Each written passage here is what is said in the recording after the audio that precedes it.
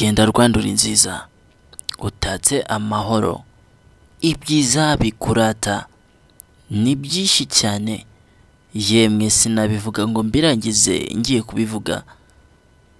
Gusa igitangaje ni ukuri igihugu gisanga icyari cyararanwe n'amateka. Kuri ubu akaba ari igihugu cya mbere gifite iterambere ryihuse muri afurika. Umutekano w'iki gihugu bityo ku basirikare batojwe neza cyane. Yemwe urukundo bagaragariza abaturage babo. Ni bimwe mu byemeza ko u Rwanda rwahiriwe kandi rugahirwa yemwe. Nta kugereranya. Urugero rw'u Rwanda rwahiriwemo. Cyari igihugu yemwe amatongo ariko ubu ni amataje. Gisa neza. Ibimenyetso ni ho basigaye batangira ingero. Wagera mu bindi bihugu ukavuga ati aha hakabaye mu Rwanda. Gusa kuri ubu se ni byo biduteranyirije? Oya ahubwo ni ukugira ngo manze mvuge igihugu cyambyaye neza kuko ibyiza birivugira. Ubumwe bw'abanyarwanda ururimi rwacu ruduhuza. Ibyo ni bimwe mu bintu bikomeza kugenda bituma mvuga igihugu cyacu neza. Turi bamwe mu bantu batironda yemwe twakuze tubitozwa tuzanapfa tubitozwa. Ururimi rwacu rugomba kuduhuza mu Rwanda. Tujye kwibanda kuri aka kantu. Insengero ndetse n'ibiri kuvugwa.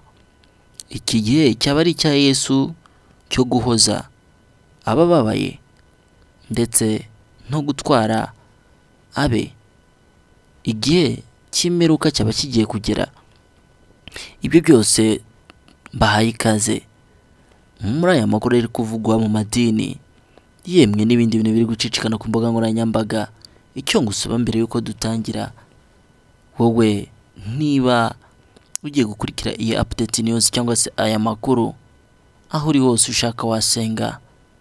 Ukavuga iti imana aho ndi hose urahabona. Ubuntu bwawe n'imbabazi zawe bugendane nanjye. Aho uzaza uzambone kandi nzagendane nawe. Nubwo wavuga ngo amena ibyo birahagije.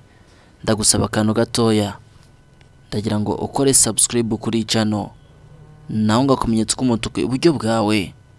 Bujya gukora subscribe kuri channel. Nta gihombo. Icyo tukwemeza ni kimwe mu mahoro dusaba kwa kirisito yemwe gukora subscribe kuri channel ni bimwe mu byakomeje kugenda bivuga ko ari ibintu byiza waba ukoze. Tugiye kuganira ku mafoto amaze iminsi acicikana ya Yesu kirisito banyamadini muritonde yemwe nawe aho uri hose uritonde shyira umutima hamwe wizere imana kuko ari igushoboza kugera kuri byose kandi byiza. Icyo ngusaba ni kimwe rero kano kanya. Niba uri mushyashya kuri cana akaba ari ubwa mbere tugiye kubana muri izi update news. Ndagusaba gukora subscribe. Naho ngo akamenyetso k'umutuku iburyo bwawe ahanditse sabu cyangwa se subscribe. Urakora rimwe ryonyine. Nindangiza ngo ubwire ngo uri agaciro cyane. Share kuri video comment ndetse na like. Muze kubyibagirwa.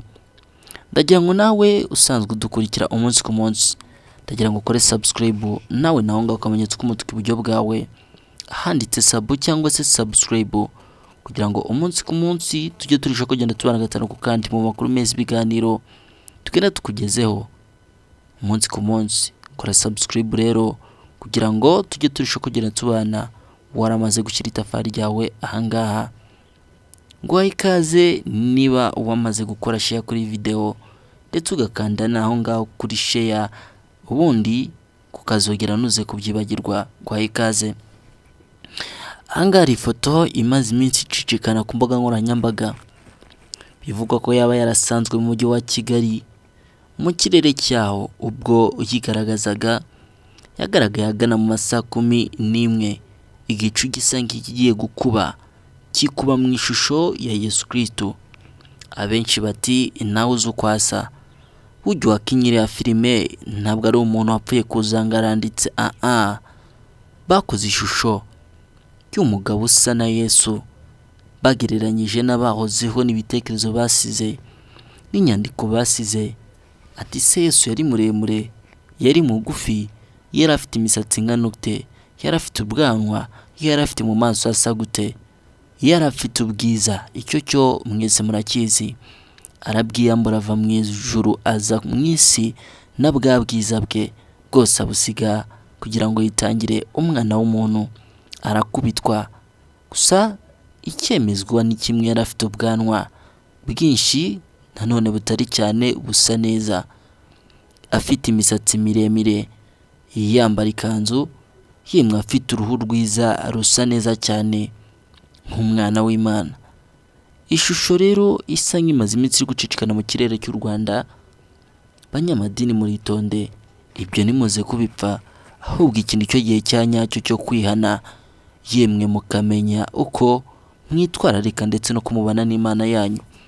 Imana yacu yatwerereje ibimenyetso byinshi ariko dukomeza kunangira imitima. Icyo dushobozwa ni kimwe na yesu kirisito mugire ikirenge mu cyanjye nanone ntimukizere ibishushanyo kuko ibyererana byose si uko ari zabo gusa nanone wowe n'umutima wawe niwo uzi idini ryawe aho rihagaze. Ntuzi ibyo wizera gusa icyo nagusaba kuri iyi foto byo yemwe ntushidikanye ahubwo bikubere nk'igihe cyo kuguteguza ngo wihane kuko igihe cy'umwami Yesu kirageze ngo ibitangaza bye bitangire kandi igihe kigaruke. Ngihane rero abashoboye.